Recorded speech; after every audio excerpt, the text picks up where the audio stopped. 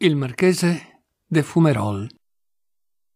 Roger de Tourneville se ne stava in mezzo a un gruppo di amici, a cavalcioni d'una sedia, con un sigaro in mano. Ogni tanto aspirava e soffiava una piccola nube di fumo e raccontava. Eravamo a tavola quando venne portata una lettera. Papà l'aprì. Voi conoscete bene papà, che crede di fare le veci del re di Francia io lo chiamo Don Chisciotte perché s'è battuto per dodici anni contro il mulino a vento della Repubblica, senza sapere bene se lo facesse in nome dei Borboni o in nome degli Orléans. Oggi tiene la lancia soltanto in nome degli Orléans, perché sono rimasti solo loro. In ogni modo, papà, si crede il primo gentiluomo di Francia, il più noto, il più influente, il capo del partito. E siccome è senatore a vita, considera i troni dei re come poco sicuri.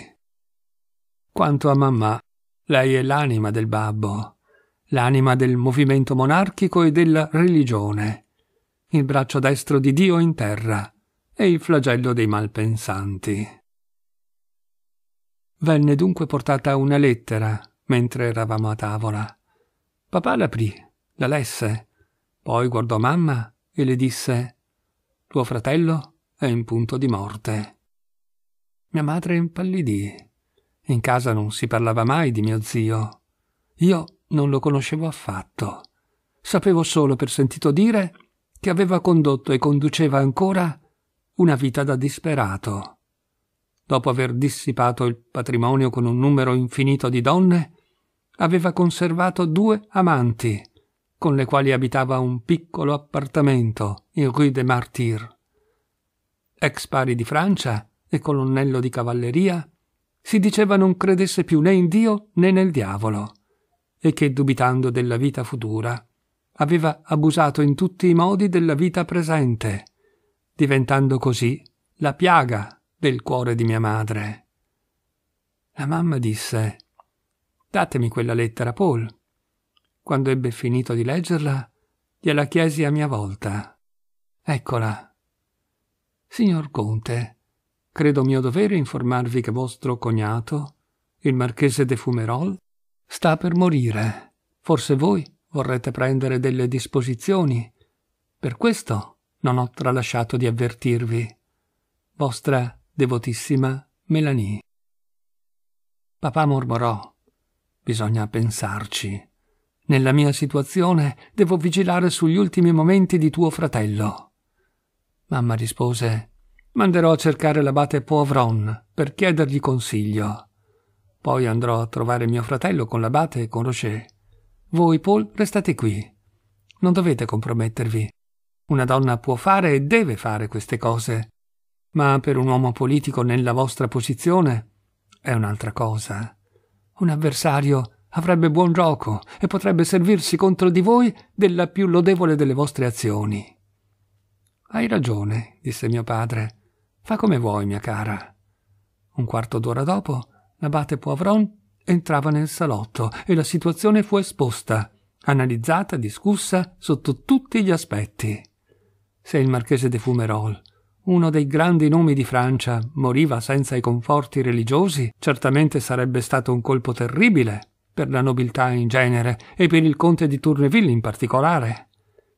I liberi pensatori trionferebbero. I cattivi giornali canterebbero vittoria per sei mesi. Il nome di mia madre sarebbe trascinato nel fango e nella cronaca dei giornali socialisti. Quello di mio padre infangato. Una cosa simile non doveva assolutamente accadere. Perciò fu immediatamente decisa una crociata guidata dall'abate Poivron, un piccolo prete grasso e pulito, lievemente profumato, un vero vicario della grande chiesa cattolica in un quartiere nobile e ricco. Venne preparata la carrozza. Partimmo in tre, mamma, il curato e io, per somministrare a mio zio i santi sacramenti. Era stato deciso che per prima cosa si doveva incontrare la signora Melanie, autrice della lettera, che doveva essere la portinaia o la domestica dello zio. Discesi in esplorazione davanti a una casa di sette piani ed entrai in un andito tetro, dove riuscii a stento a distinguere l'oscuro bugigattolo del portinaio. Questi mi squadrò con diffidenza. Domandai la signora Melanie, per favore. Non la conosco, ma ho ricevuto una sua lettera. Sarà, ma io non la conosco. È forse una puttana? No, probabilmente è una domestica. Mi ha scritto per un posto. Una domestica? Una domestica? Può essere quella del marchese. Andate a vedere. Quinto piano a sinistra. Dal momento che io non domandavo ad una puttana, era diventato più gentile e mi accompagnò fino all'ingresso.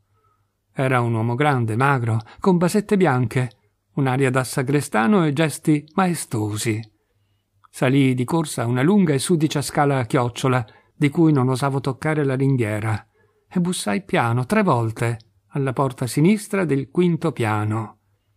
Mi venne subito aperto e mi vidi dinanzi una donna lercia, enorme, che sbarrava l'entrata con le braccia aperte appoggiate ai due stipiti. Borbottò. Cosa volete? Siete voi la signora Melanie? Sì. Io sono il visconte di Tourneville. Ah, bene. Entrate. C'è mia madre giù, con un sacerdote. Ah, bene. Andate a prenderli. Ma badate al portinaio. Io discesi e tornai sopra con la mamma seguita dall'abate.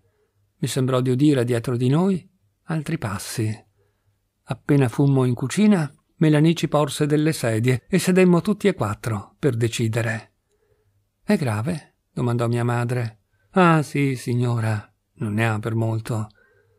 E sembra disposto a ricevere la visita d'un prete? Oh, credo di no. Posso vederlo? Ma sì, signora, eh, soltanto. soltanto ci sono con lui quelle signorine. Quali signorine?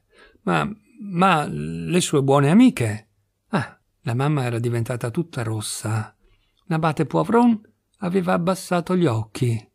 La cosa cominciava a divertirmi e dissi: Se entrassi io per primo, vedrò come mi riceve e potrei forse preparare il suo cuore. La mamma, senza capire l'ironia, rispose: Sì, figlio mio. Ma da qualche parte s'aprì una porta e una voce, una voce di donna, chiamò Melanie. La grossa donna si precipitò e chiese Ha bisogno di qualcosa, signorina Claire? L'omelette, ma subito. Fra un minuto, signorina.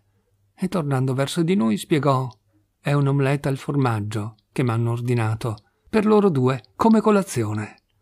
E subito ruppe le uova in una zuppiera e si mise a sbatterle con foga.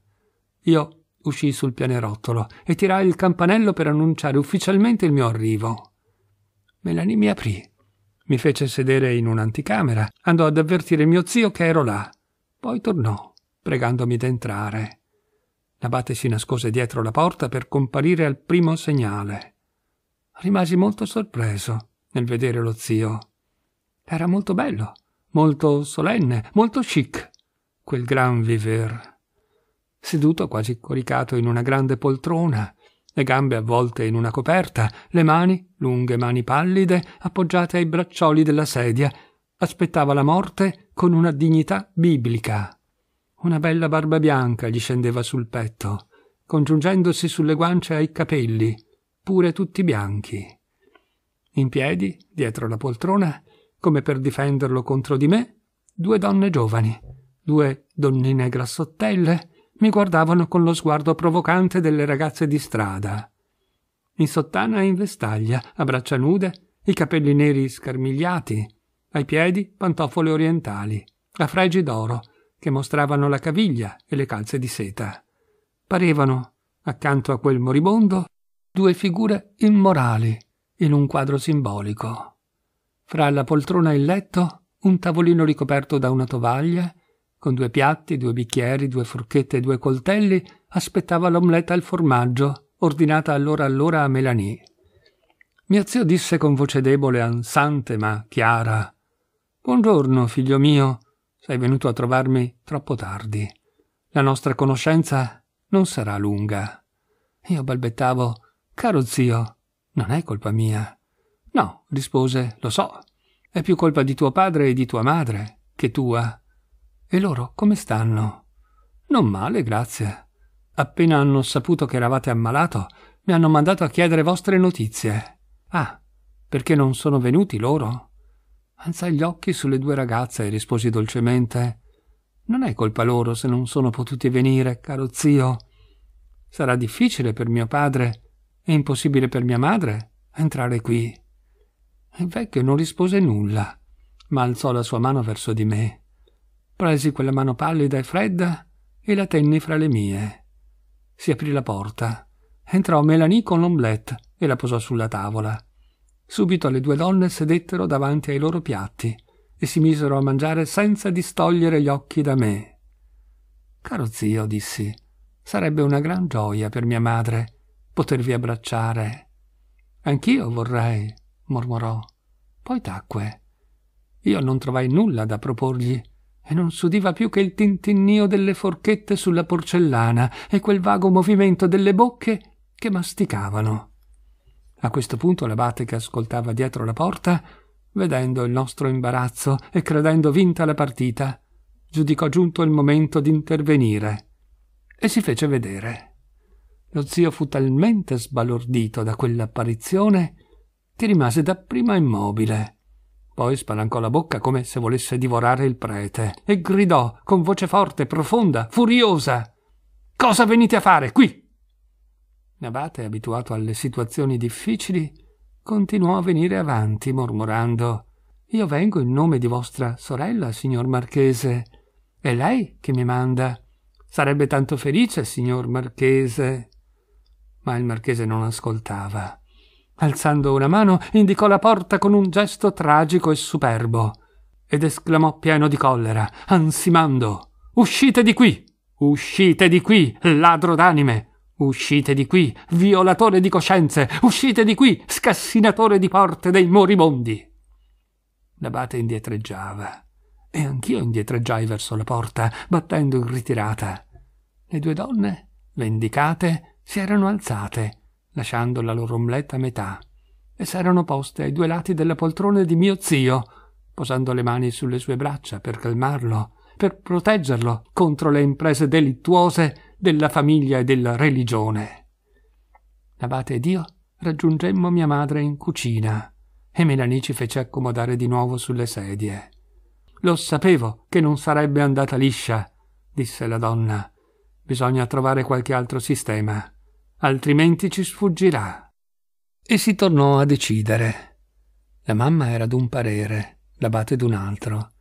Io ne avevo un terzo.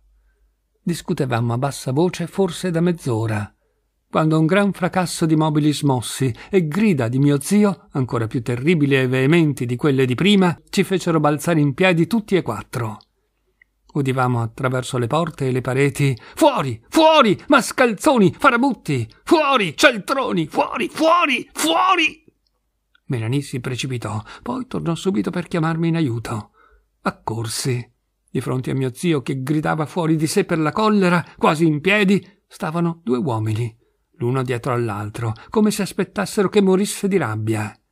Dal lungo pastrano ridicolo, dalle lunghe scarpe inglesi, dall'aspetto di precettore disoccupato, dal collo ritto e dalla cravatta bianca, dai capelli incollati, dalla figura umile di falso prete d'una religione bastarda, io riconobbi subito il primo per un pastore protestante. L'altro era il portinaio della casa, che appartenendo al culto riformato ci aveva seguiti ed era corso a cercare il suo prete nella speranza di miglior sorte. Lo zio sembrava pazzo di rabbia. Se la visita del prete cattolico, del prete dei suoi antenati, aveva irritato il marchese de Fumerol, diventato libero pensatore, la visita del ministro del suo portinaio lo faceva uscire addirittura dai gangheri. Io presi per il braccio i due uomini e li spinsi fuori così bruscamente che due volte di seguito si abbracciarono con violenza, passando dalle porte che conducevano alla scala. Poi mi eclissai anch'io e tornai in cucina, nostro quartier generale, per consigliarmi con mia madre e con l'abate. Ma Melanie sconvolta rientrò gemendo Muore, muore, venite presto, sta morendo. Mia madre accorse lo zio era caduto per terra, lungo disteso sul pavimento, e non si muoveva più. Credo anzi che fosse già morto. Mamma fu splendida in quel momento. Andò dritta verso le due ragazze inginocchiate accanto al corpo che stavano tentando di sollevare. E mostrando la porta con un'autorità, una dignità, una maestà irresistibile, disse Tocca a voi uscire, adesso. Ed esse uscirono, senza protestare, senza dire una parola. Bisogna aggiungere che io mi preparavo a cacciarle via con la stessa vivacità che avevo usato col pastore e col portinaio. Allora l'abate Poivron somministrò a mio zio i sacramenti, con tutte le preghiere d'uso, e lo assolse dei suoi peccati. Mamma si ingozzava, inginocchiata dinanzi a suo fratello. Improvvisamente gridò M'ha riconosciuta. M'ha stretto la mano. Sono sicura che m'ha riconosciuta e che m'ha ringraziata. Oh mio Dio, che consolazione! Povera mamma. Se avesse compreso o indovinato a chi o a che cosa, quei ringraziamenti erano diretti. Lo zio venne adagiato sul letto. Questa volta era proprio morto. Signora, disse Melanie, non abbiamo lenzuola per seppellirlo. Tutta la biancheria appartiene a quelle signorine. Io guardai l'omelette che le due ragazze non avevano finito di mangiare e avevo voglia di piangere e ridere nello stesso tempo. Ci sono situazioni curiose e sensazioni davvero strane talvolta nella vita. Abbiamo fatto a mio zio dei magnifici funerali, con cinque discorsi sulla sua tomba. Il senatore, barone di Croissel, ha dimostrato, in termini mirabili, che Dio ritorna sempre vittorioso nelle anime nobili che si sono smarrite da qualche tempo tutti i membri del partito monarchico e cattolico seguivano il feretro con entusiasmo da trionfatori, parlando di quella bella morte dopo una vita un po' agitata. Il visconte Roger tacque. Attorno a lui ridevano. Qualcuno disse Bah, ecco la storia di tutte le conversioni in extremis.